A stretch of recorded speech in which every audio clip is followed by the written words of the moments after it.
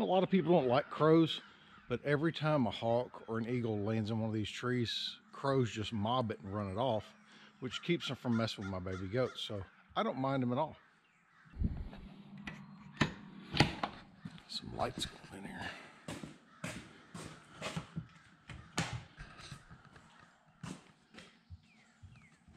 He's gonna act like he's not glad to see me, but we know better than that. Always glad to see me.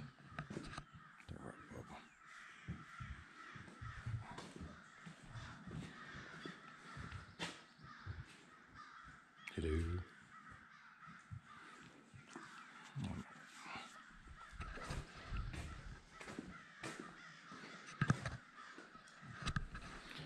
Hey, Donk. What you doing? Well, you made a mess of your stall.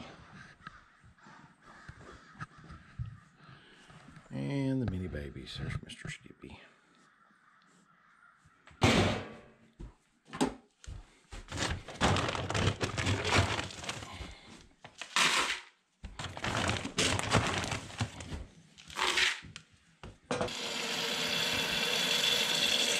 Tech's a little bit older.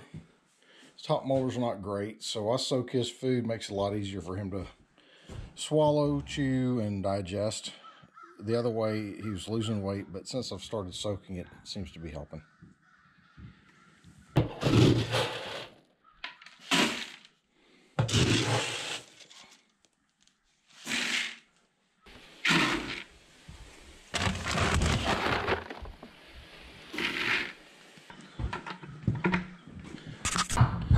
You go, dude.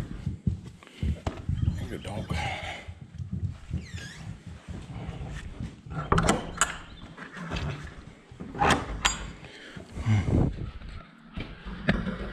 All right. Here we go. You. You. Miss Christy. You go, Patty. The minis have to be fed in a very specific order or they'll start fighting. Selena, a drop first, then Skippy. Christy will go stand over there and wait. And then Patty will stand here and wait for me to put hers down. But if you put them down in any other order, there's chaos. Ready to eat, big guy? Back up. Back up. Back up. Nugget is pushy. You cannot let a horse take the bucket from you.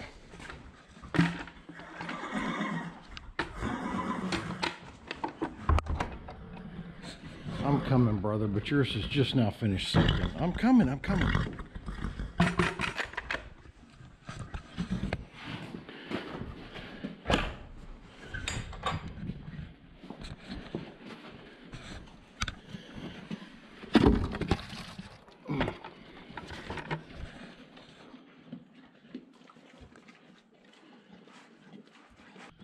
Now for the goats. Maybe I can record this with just one hand, maybe not. We're gonna find out in just a second. That's what I'm talking about right there. Bald eagle flying right over the top of the goat enclosure. That was a little bit hectic. Three of the baby goats ran out right in front of the eagle. So I was trying to get them back in while the adult goats were trying to knock me down and take the food.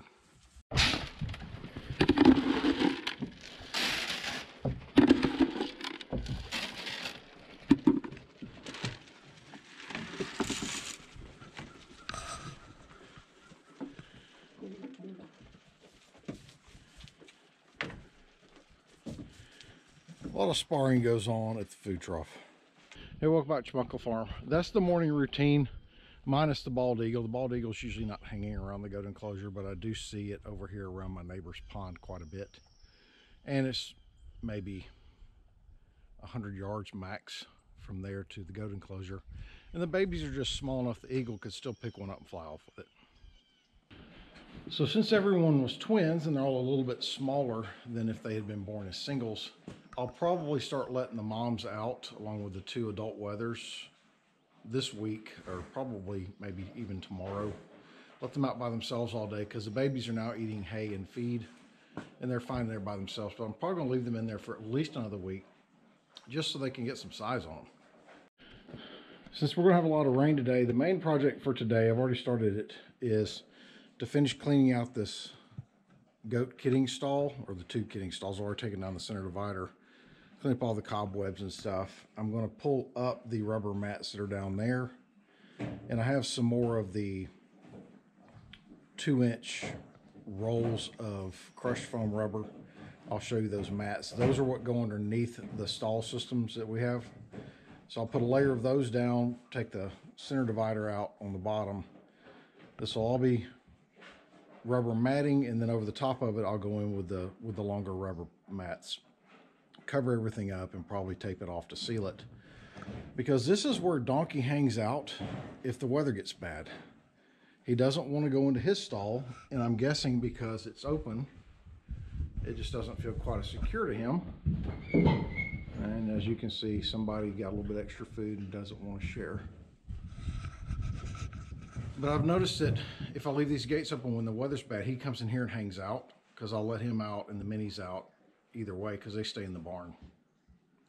And I think this is a good size stall for him. I think he wants to be in here. So I'm going to clean this out, fix it up for him, and get him in here probably this afternoon. Come on, buddy. Oh, you want your cookie. Come on. Got to get the cookie. I know, like a spoiled child. Gotta get him a cookie.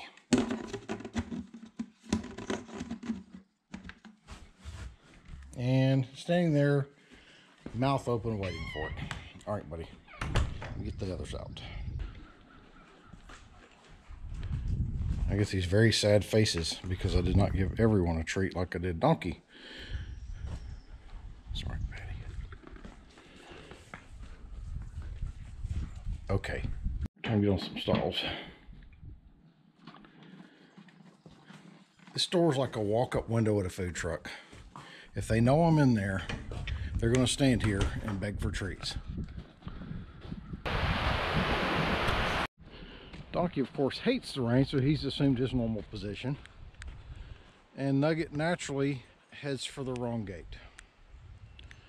Sometimes I just don't know.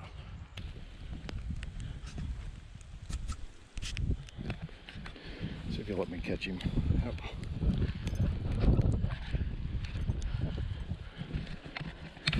All right. Now I've got him caught. I can bring everybody else inside and I can get out of the rain. Come on, Donk.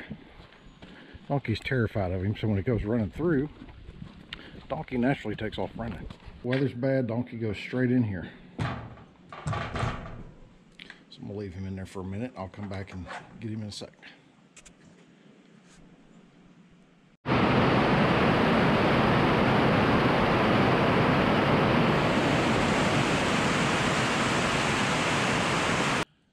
Well, I didn't get as much done as I wanted to. It rained pretty much all morning hard, a lot of thunder, a lot of lightning. So I just shut everybody up and gave them some hay. I did want to show you, this is the rubber matting that goes on the bottom of these stalls. I think it's called Stable Comfort is the system, but it's sleeves and it's crushed rubber. And I think they're four feet by three feet, something like that. I forget what they came out to when I measured them as I did the stalls because this was here whenever I got here and it was all just piled in one stall. So I completed the rest of the barn. But you can order it. I don't know if you can order the top piece by itself, but I just used the mats from Tractor Supply, the, the big heavy 4x8 mats that you can get, and those work just fine. And as long as you keep the stalls cleaned out on a daily basis, you don't have any issue with stuff getting under them. I'm probably not going to do a one piece in Donkey's new stall because I may not want to keep it there. I may convert that back into a washroom, but right now it's his safe space and I'm going to keep it for him as long as he wants it. So that's what we're going to work on as soon as we get a break from all this weather. Until next time, thanks for watching.